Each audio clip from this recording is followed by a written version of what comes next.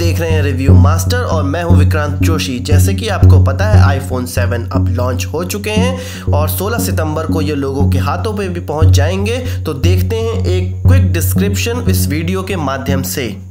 IPhone market में दो variant में उपलब्ध है आईफोन 7 और आईफोन 7 प्लस दोनों ही फ़ोन पाँच रंगों में उपलब्ध हैं rose gold gold silver black और जेट ब्लैक हालाँकि सारे रंग बत्तीस जीबी एक सौ अट्ठाईस जीबी दो सौ छप्पन जीबी में उपलब्ध होंगे, पर जेट ब्लैक ओनली एक सौ अट्ठाईस जीबी और दो सौ छप्पन जीबी के मॉडल में उपलब्ध होगा। IPhone 7 4.7 inch retina H display के साथ मिलता है। वहीं iPhone 7 plus 5.5 retina H display के साथ मिलता है।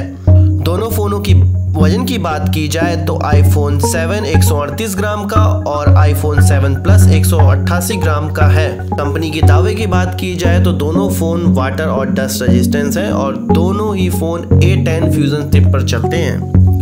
दोनों ही फ़ोनों में आपको 12 मेगापिक्सल का कैमरा प्राप्त होता है। आईफोन 7 प्लस में आपको 2 इंटू ऑप्टिकल जूम मिलता है, जो कि दो लेंसों के द्वारा प्राप्त होता है। डिजिटल जूम की बात की जाए तो आईफोन 7 का 5 इंटू का डिजिटल जूम मिलता है और वहीं आईफोन 7 प्लस में 10 इंटू का डिजिटल जूम मिलता है।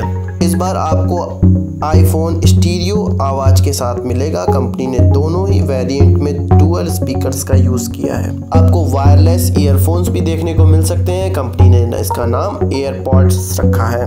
कंपनी का दावा है कि A10 चिपसेट होने की वजह से फ़ोन को दोगुनी रफ्तार मिलेगी और सबसे लंबी बैटरी आईफोन के इतिहास में प्राप्त होगी। आईफोन 7 और 7 प्लस में 3D टच टेक्नोलॉजी का इस्तेमाल किया गया है, जो कि उंगली के प्रेशर से यह जान लेगा कि किस ऑप्शन का चुनाव आपने किया है। और होम बटन पर ही फिंगरप्रिंट सेंसर भी लगा दिया है, जिसे टच आईडी सेंसर कहा है एप्पल ने। फ़ोन 7 और 7 प्लस चलता है आई ओ एस टेन पे, जिसमें कंपनी कुछ नए फीचर देने की बात कर रही है।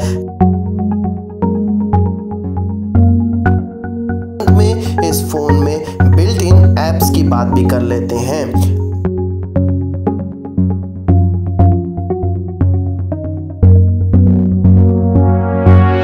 मुझे लगता है कि आपको इस वीडियो से एक आईफोन 7 और 7s का ओवरलुक मिल गया होगा।